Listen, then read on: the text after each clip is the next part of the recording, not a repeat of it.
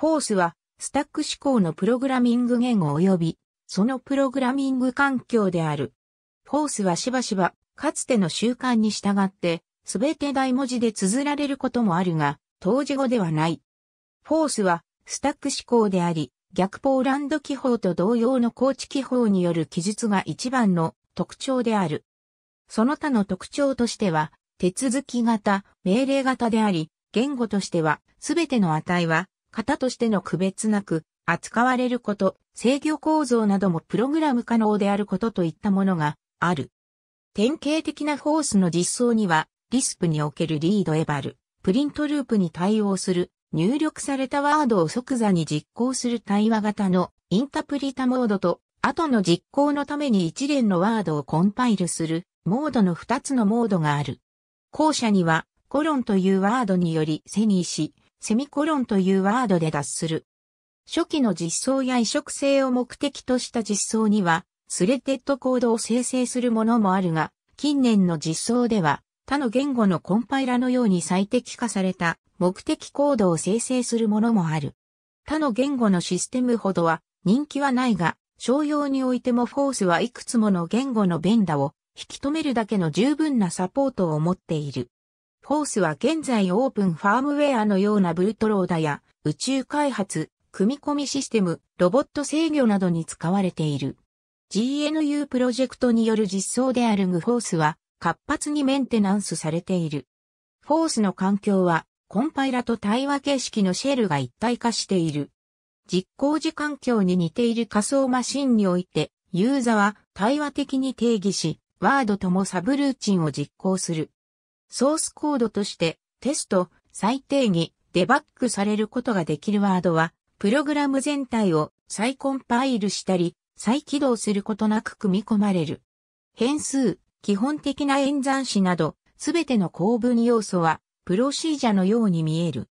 たとえ特定のワードが最適化されても、サブルーチンの呼び出しを必要とするといけないので、これも、また依然として、サブルーチンとして有効である。言い換えれば、シェルは、対話的に入力されたコマンドをそれが実行される前にマシンコードにコンパイルする。どのように結果のプログラムが格納されるかは、フォース環境によって様々だが、理想的には、手動でそのコードが再入力された時とプログラムの実行は同じ影響を持つ。コンパイルされる関数は、プログラムオブジェクトの特殊なクラスで、対話的コマンドは厳密にインタープレットされる C 言語と Unix シェルの組み合わせとは対照的である。ほとんどのフォースのユニークな性質はこの原理の結果である。対話性、スクリプティング、コンパイレーションがあることにより、 Forth は BBC Micro や Apple II シリーズのようなリソースが限られたコンピュータでよく使われ、ファームウェアや小さなマイクロコントローラなどのアプリケーションで生き残っている。C コンパイラがよりコンパクトで効率的なコードを生成しようとしている今まさにその時でも、フォースの対話性における優位は保たれているのである。再帰的なサブルーチンを持つすべてのプログラミング環境は制御フローのためにスタックを実装している。この構造は典型的にはローカル変数やサブルーチンの引数も格納する。フォースにはしばしばローカル変数がないこともあるが、コールバイバリューでもない。代わりに中間的な値は第2のスタックにおいて保持される。ワードは、スタックの最も上にある値を直接操作する。それゆえ、これは、パラメータ、または、データスタックと呼ばれたりもするが、ほとんどの場合は、単に、スタックである。それから、関数呼び出しスタックは、リンケージもしくは、リターン、スタックと呼ばれ、スタックとも略される。カーネルから提供された特殊なスタック操作関数は、それがワード内で一時的なストレージとして使われることを可能にするが、その一方でこれは、引数や操作データを渡すことに使うことはできない。フォースは、スタックの概念をうまく利用しており、演算は逆ポーランド記法により記述される。このため構文解析が極めて単純となり、プログラム及び処理系が小さくて済む。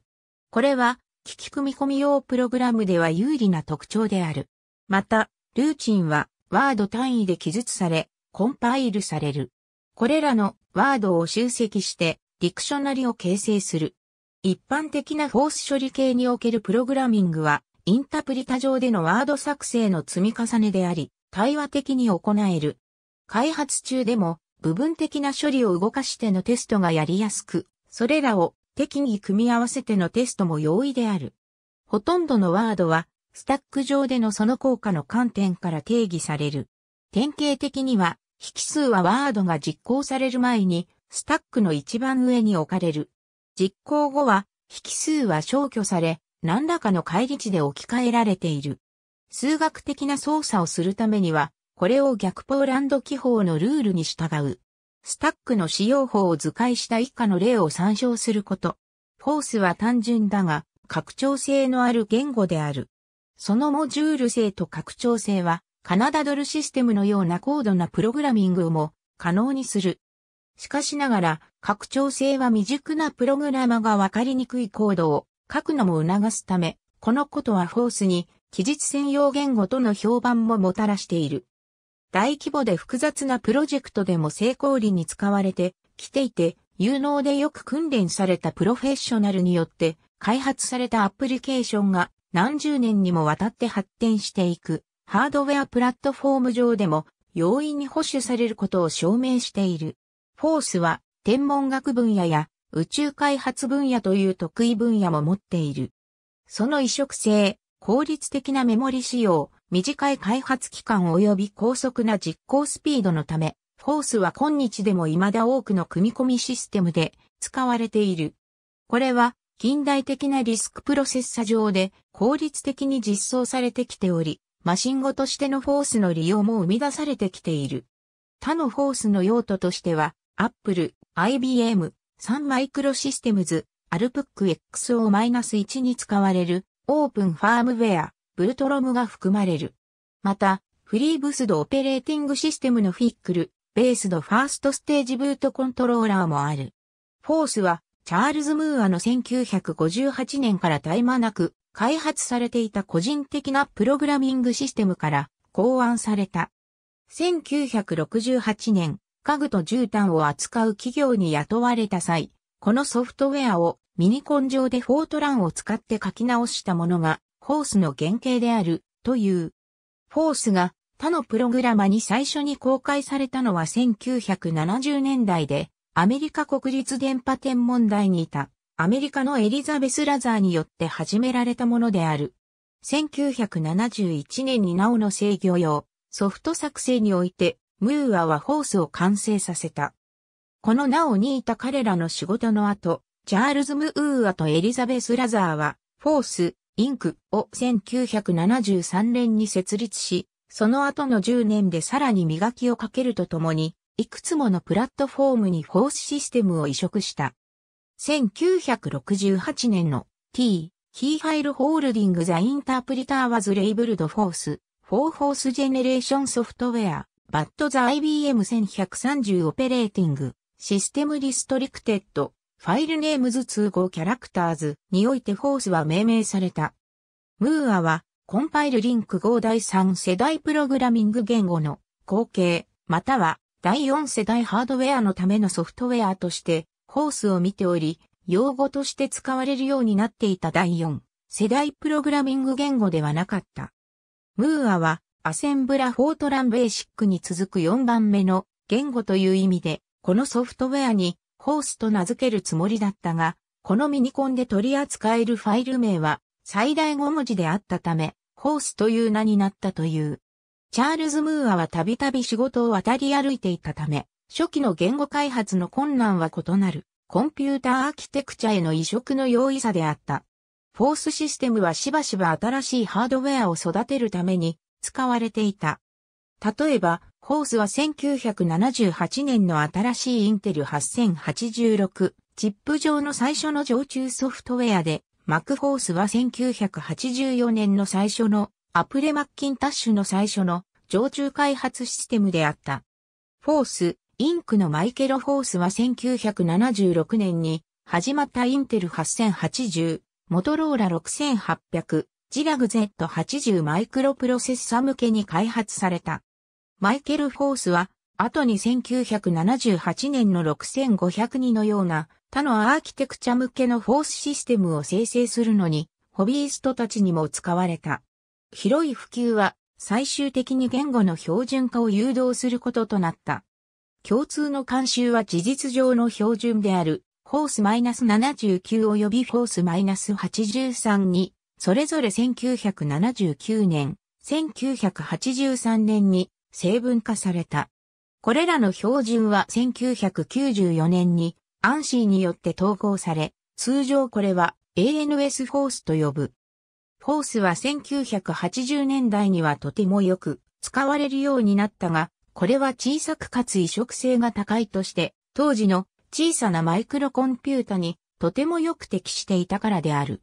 少なくとも一つのホームコンピュータ、英国のジュピター ACE はそのロム常駐オペレーティングシステムにフォースを持っていた。キャノンキャットもまたそのシステムプログラミングのためにフォースを使っていた。さらにロックウェルも常駐フォースカーネルを持つ R65 回11と R65 回12のシングルチップマイクロコンピュータを製造していた。フォースの構築法はデータスタックを意識的に操作しなければならないというフォースの特徴と密接に結びついている。すなわち、オペランドはそのままスタックに積まれ、後から現れる演算子などはスタックからそれを取り出して演算し、結果をスタックに積むといったように動作する。多くの言語と違い、バッカスの上記法で構文が定義されているわけでもなく、伝統的には、コンパイラはスレッテッドコードと呼ばれるシンプルな構造の目的コードを直接生成するだけである。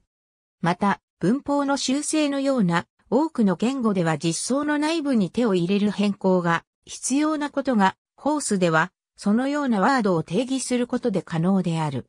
なお、データスタックの他にリターンスタックがあり、そちらはワードの呼び出しの後で手続きを再開するアドレス等が積まれるスタックである。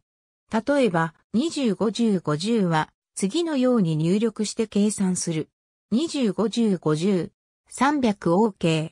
まず最初に数値25と10がこの順でスタックに積まれる。ワードがスタックの一番上にある2つの数を乗算し、その席に置き換える。それから数値50をスタックに積む。ワードがこれに先ほどの席を加算する。最後にコマンドがスタックのトップを取り出して、それをユーザの端末に結果として出力する。4 5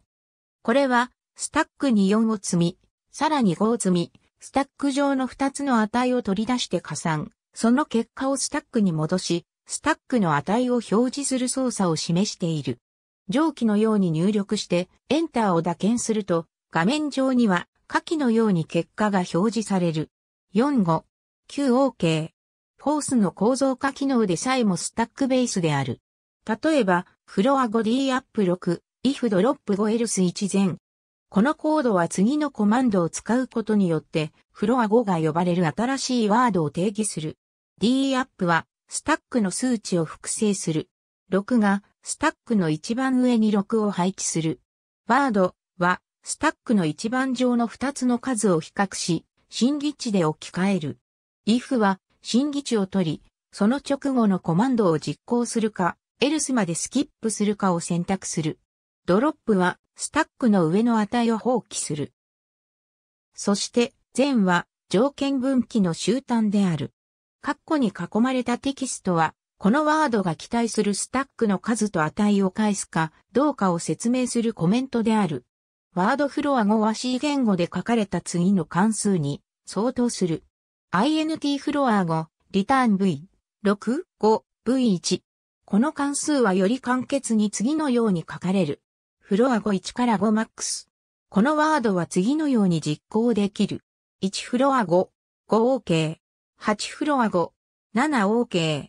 最初にインタプリタは数値1をスタックにプッシュし、それからこの数値を再びポップし、結果をプッシュするフロア5を呼び出す。最後に、の呼び出しは値をポップし、ユーザーの端末にそれを表示する。ホースの構文解析は明確な文法がないので単純である。インタプリタはユーザ入力デバイスから入力された行を読み、それから区切り文字としての空白を使って単語に構文解析される。他の空白文字を認識するシステムもある。インタプリタがワードを見つけると、ディクショナリからそのワードの検索を試みる。もしそのワードが見つかれば、インタプリタはワードに関連付けられたコードを実行し、それから入力システムの残りを構文解析するために復帰する。もしワードを発見することができないなら、ワードを数だと仮定して数値への変換を試み、それをスタックにプッシュする。これが成功すれば、インタプリタは入力システムからの構文解析を継続する。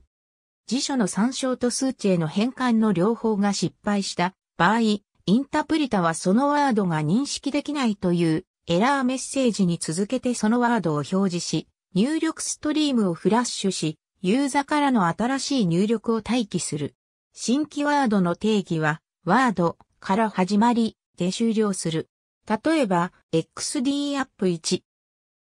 のコードは、ワード X をコンパイルし、辞書にこの名前が発見できるようにする。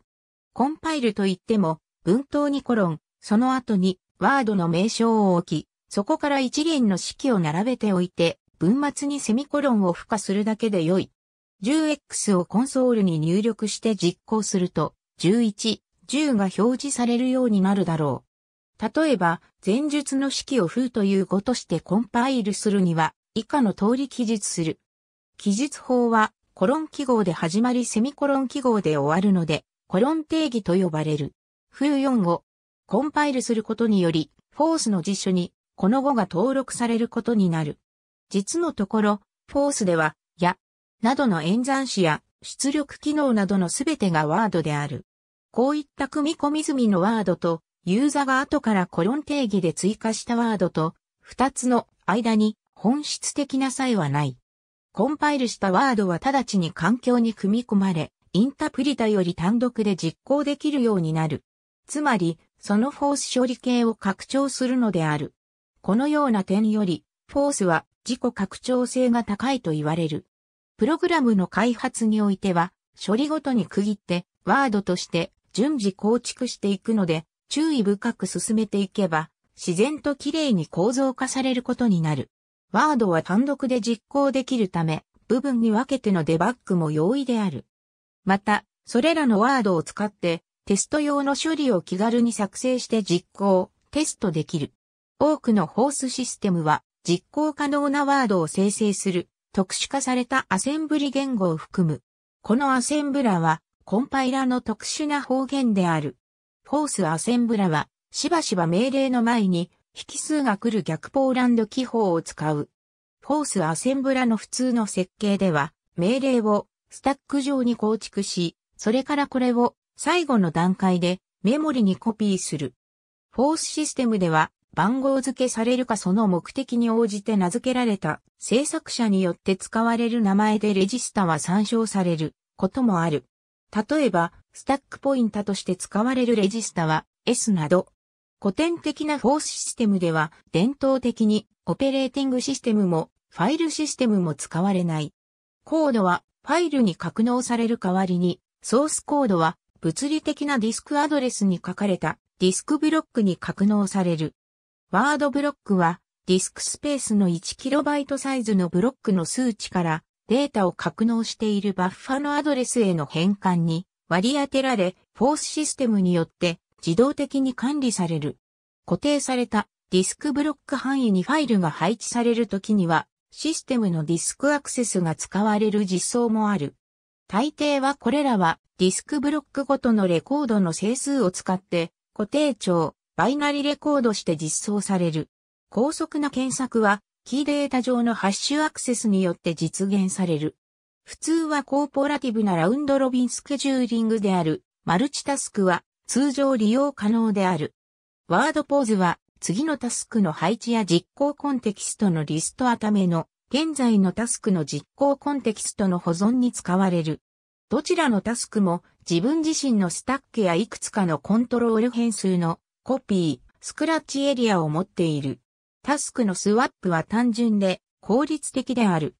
その結果、フォースマルチタスクはインテル8051、アトマル AVR、&TI、MSP430 のような非常に単純なマイクロコントローラでさえ有効である。その一方で、マイクロソフト Windows や Linux、Unix のようなホストオペレーティングシステムの下で実行され、ソースやデータのファイルのためにホストオペレーティングシステムのファイルシステムを利用するホースシステムもある。アンシーホース規格では I、O のために使われたワードについて書かれている。他の標準的でない機能は、ホスト OS や Windows システムへのシステムコールを発行するためのメカニズムも含み、多くはオペレーティングシステムから提供されるスケジューリングを採用する拡張を提供する。典型的には、タスク作成、一時停止、解体、及び優先順位の変更のためにスタンドアロンのフォースのポーズワードとは大きくて異なったワードのセットを持っている。すべてのソースコードとともに十分な機能を有するフォースシステムは自身をコンパイルすることができ、フォースプログラマはこのようなテクニックを普通メタコンピレーションと呼ぶ。通常の方法はコンパイルされたビットをメモリに配置する一握りのワードの最定義である。コンパイラのワードはメモリ内のバッファエリアにリダイレクトされることができるフェッチとストアの特別に命名されたバージョンを使う。このバッファエリアはコードバッファというより異なるアドレスから始まるメモリ領域へのシミュレートやアクセスをする。このコンパイラは対象のコンピュータのメモリとホストのコンピュータのメモリの両方にアクセスするワードを定義する。フェッチやストア操作がコード空間に再定義された後、コンパイラやアセンブラなどはフェッチやストアの新たな定義を使って再コンパイルされる。これはコンパイラとインタプリタのすべてのコードの効果的な再利用である。それからフォースシステムのコードはコンパイルされるが、このバージョンはバッファに格納される。このメモリ内のバッファはディスクに書き込まれ、これをテストのために一時的にメモリにロードする方法が提供される。新たなバージョンがきちんと機能するようなら、これは以前のバージョンに上書きされる。異なる環境のためのバリエーションが多数存在する。組み込みシステム向けには代わりに他のコンピュータのためにコードが書かれることになるが、このテクニックはクロスコンピレーションとして知られ、シリアルポートや単独の TTL ビット越しでさえ、その上オリジナルのコンパイルするコンピュータのワード名やディクショナリの他の実行されない部分も維持する。このようなフォースコンパイラのための最小の定義は、バイト単位のフェッチやストアをするワードと、実行されるフォースワードを命令するワードである。しばしば最も多くの時間のかかるリモートのポートへの書き込みの部分は、フェッチやストア、実行を実装するための初期化プログラムの構築であるが、多くの現代的なマイクロプロセッサは、このタスクを排除する統合されたデバッグ機能を持っている。フォースの基本的なデータ構造は、ワードを実行可能なコードや名前の付けられたデータ構造を対応させるディクショナリである。このディクショナリは、門番が発見されるまで最も新しく定義されたワードから最も古いワードまで進むリンクを用いた連結リストのツリーとしてメモリに展開される。コンテキストスイッチは異なる派で開始するためにリスト検索を引き起こす。周囲のメインの幹への枝のマージは最終的にルートの門番へ戻ってくるので連結リスト検索は継続する。そこは様々なディクショナリになることができる。メタコンピレーションのような稀なケースではディクショナリは隔離されスタンドアロンである。この効果は名前空間のネストのそれに似ていて、コンテキストに依存するキーワードのオーバーロードが可能である。定義されたワードは一般的にヘッドとボディからなり、ヘッドは名前フィールドとリンクフィールドからなり、ボディはコードフィールドとパラメータフィールドからなる。ディクショナリのエントリーのヘッドとボディは隣接していないかもしれないので別々に扱われる。例えば、フォースプログラムが新しいプラットフォームのために再コンパイルされたとき、ヘッドはコンパイルするコンピュータに残るかもしれないが、ボディは新しいプラットフォームに行ってしまっている。組み込みシステムのようないくつかの環境によっては、ヘッドは不必要にメモリを占有する。しかしながら、もしターゲット自身が対話的なフォースをサポートすることを期待されるなら、クロスコンパイラによってはヘッドをターゲット内に配置するかもしれない。ディクショナリの厳密なフォーマットは規定されず、実装に依存する。しかしながら、いくつかのコンポーネントはほとんどいつも提示しており、しかし、厳密なサイズと順序は変わるかもしれない。記述された構造、ディクショナリエントリは、このように見えるかもしれない。ストラクチャー、byte、flag 3 bit flags、length of word's name、char、array、name name's runtime、length isn't known at compile time。address、previous、link field、backward PTR to previous word。address、codeword PTR to the code to execute、this word。any、array、parameter、field、unknown length of data、words、or opcodes。エンド、ストラクチャーフォースワード。この名前フィールドは、ワードの名前の長さを与えるプリフィックスで開始し、何ビットかはフラグ用である。それから、ワードの名前の文字表現がプリフィックスの後に続く。特定のフォース実装に依存するが、アラインメントのため一つ以上のヌルバイトがあるかもしれない。リンクフィールドは、以前に定義されたワードへのポインタを含む。このポインタは次に古い隣接するワードへの相対的な変位かもしれないし、絶対的なアドレスかもしれない。このコードフィールドポインタはコードを実行するワードのアドレスか、パラメータフィールド内のデータか、プロセッサ直接実行するであろう、マシンコードの開始のいずれかになるだろう。ワードを定義するコロンでは、コードフィールドポインタは、リターンスタック上の現在のフォース命令ポインタを保存し、ワードを実行継続するための新たなアドレスを用いて、IP をロードするワードを指し示す。これは、プロセッサのコール、リターン命令が行っているのと同様である。コンパイラ自身はモノリシックなプログラムではない。これはシステムから可視なフォースワードとプログラマから利用可能なものとからなっている。このことはプログラマが特殊な目的のためにコンパイラのワードを変更することを可能にする。名前フィールド内のコンパイル時フラグはコンパイル時の振る舞いのワードのセットである。ほとんどの単純なワードは、それがコマンドライン上で入力されたかコードに埋め込まれたかに関わらず、同じコードが実行される。そのようにコンパイルされるとき、コンパイラはコードかワードへのスレッデッドポインタを単に配置する。コンパイル時ワードの古典的な例は、if and while といった制御構造である。フォースのすべての制御構造とほとんどすべてのコンパイラは、コンパイル時ワードとして実装される。すべてのフォース制御フローワードは、プリミティブなワードブランチや、ブランチの各種の組み合わせをコンパイルするために、コンパイルの間に実行される。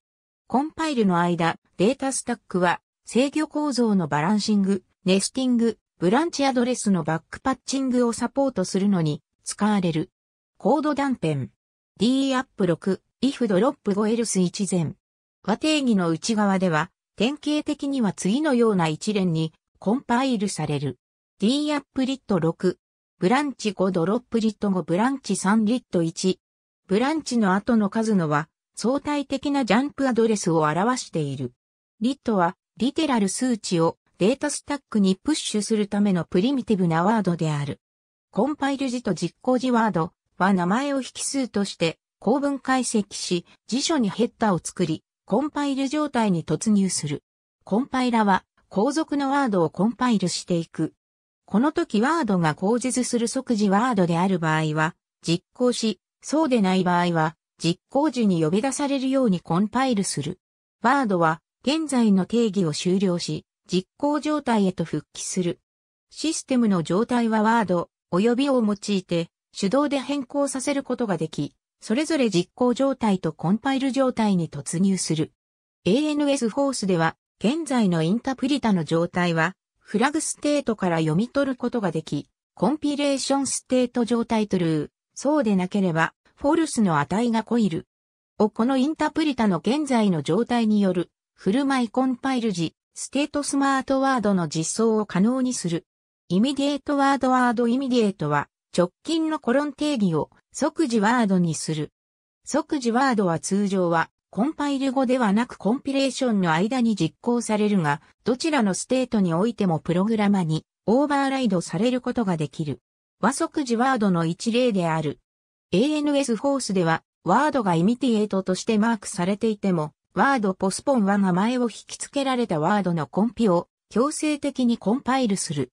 無名ワードと実行トークン ANS フォースでは、ワード noname を用いて、次のまでの後続のワードをコンパイルし、実行トークンをデータスタック上に残す無名のワードが定義できる。ワード execute はデータスタックから実行トークンを取り出し、関連付けられたセマンティクスを実行することができる。またワード compile はデータスタックから実行トークンを取り出し、コンパイルする。ワードはワード名を引数として取り、データスタック上のワードに関連付けられた実行トークンを返す。ワードの構文解析とコメントワード、ポスポンとノナメはデータスタックの代わりにユーザーからの入力からそれらの引数を取る構文解析ワードの例である。別の例では、コロン定義において、次の右括弧を含む後続のワードを読み込んで無視し、コメントを配置するのに使われる、がある。同様に、ワードは、現在の行の終端まで続くコメントのために使われる。ほとんどのフォースシステムにおいて、コード定義のボディは、マシン語といくつかの形式のスレッデッドコードからなる。非公式の FIG 規格に従っているオリジナルのフォースは、 TIL である。これは、間接スレッティングとも呼ばれ、直接スレッティングとサブルーチンスレッティングも現在は、よく使われるようになってきた。最初期のモダンなフォースは、サブルーチンスレッティングを使っており、マクロとしてシンプルなワードを挿入し、より小さく速いコードを生成するために、覗き穴的最適化や他の最適化戦略を実行した。ワードが変数や他のデータオブジェクトであるとき、CP はそれを作成した定義ワードに関連付けられたランタイムコードを指している。定義ワードは特徴的な defining behavior を持っており、この定義しているワードによって構築されたワードのクラスのインスタンスの振る舞いの定義もする。例えば、フォースはカスタム定義の振る舞いとインスタンスの振る舞いを指定する。新しいアプリケーション特有の定義ワードをプログラマが定義できる機能もまた提供する。円形バッファ、I、O ポート上で命名されたビット、自動的にインデックス化された配列などの例がある。これらに定義されたデータオブジェクトと同様のワードはスコープにおいてグローバルである。他の言語でローカル変数から提供された関数は、フォースではデータスタックから提供される。フォースのプログラミングスタイルは他の言語に比べごく少数の名付けられたデータオブジェクトを使う。典型的にはこのようなデータオブジェクトはたくさんのワードやタスクによって使われるデータを格納するのに使われる。フォースは型システムを持たない。したがって値の操作はすべてプログラマの責任で行われる。フォースで書かれたワードは実行可能な形式にコンパイルされる。古典的実装は順に実行されるワードのアドレスのリストをコンパイルする。多くの現代的なシステムは実際のマシンコードを生成する。最適化コンパイラを持つシステムもある。一般的な場合、フォースプログラムは実行可能形式としてロードされた時実行されるコマンドを含めたフォースプログラムのコンパイル済みコードのメモリイメージとして保存されている。開発中、プログラマは小さなコード編を開発した時に実行及びテストするためにインタプリタを使う。そのため、ほとんどのホースプログラマは緩やかなトップダウン設計と単体テストと統合の繰り返しによるボトムアップ開発を支持している。トップダウン設計では、普通まず、プログラムを5位へのプログラムを分割し、それらを最終的に必要なプログラムを書くための高レベルなツールセットとして利用する。よく設計されたフォースプログラムは自然言語のように読むことができ、単一の目的を達成するために用いられるだけでなく、関連する問題を解くプログラムを書くのに利用することができる。For an explanation of the tradition of programming, Hello World, C Hello World 実装の一つとしては、 hello CR、hello、world、hello、CR、hello。ワード CR は後続の出力を新しい行の上に表示するようにする。構文解析ワードはダブルクオートで区切られた文字列を読み、構文解析された文字列が実行時に表示されるように現在の定義にコードを追加する。文字列 hello、world からこの空白文字で区切っているワードは文字列には含まれていない。これは構文解析機がをフォースワードとして認識するために必要である。標準的なフォースシステムはインタプリタでもあり、同じ出力は次のコード兵をフォースコンソールに入力することで得ることができる。CR は、カッコで囲まれた文字列を構文解析し、これを表示するイミディエートワードである。と同様に、 hello、world から空白文字で区切られた。は、文字列の一部ではない。ワード CR は表示する文字列の前に来る。慣例的に、フォースインタプリタは新規行に出力を開始しない。また、慣例により、インタプリタは直前の行の終端、OK プロンプトの後で入力を待つ。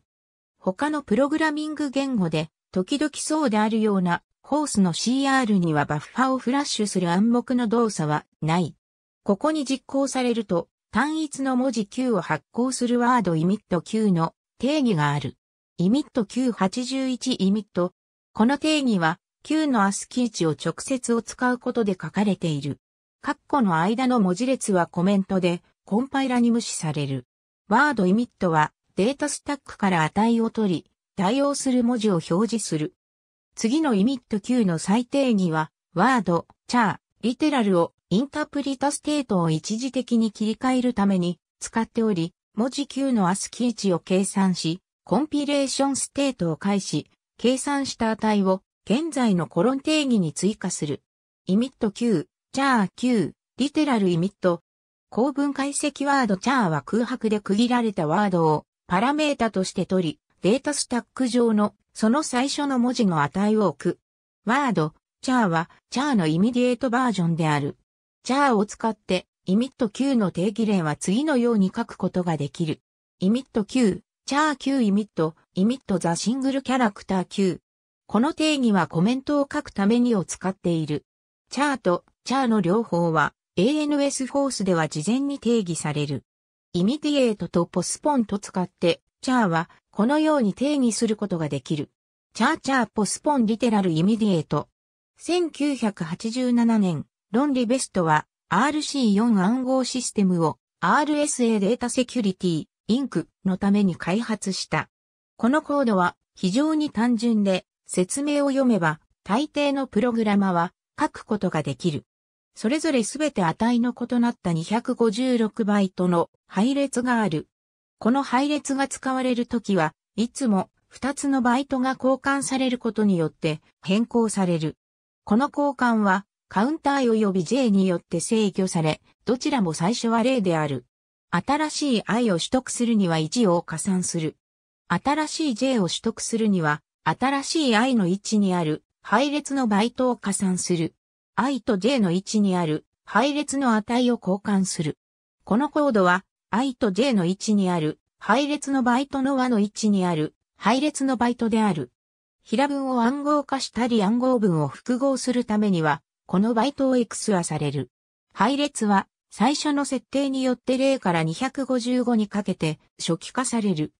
それから i と j を使う i の位置にある配列のバイトを j に加算による新しい j とキーのバイトの取得、i と j のバイトの交換と手順は進んでいく。最後に i と j は0にセットされる。すべての加算は256を法とするモジュラ演算である。以下の標準のフォースバージョンは、コアのワードのみを使っている。例バリュー2、例バリュー JJ、クリエイト S、256チャースアラット、アーク4、21、D アップ2 255 S、D アップ C、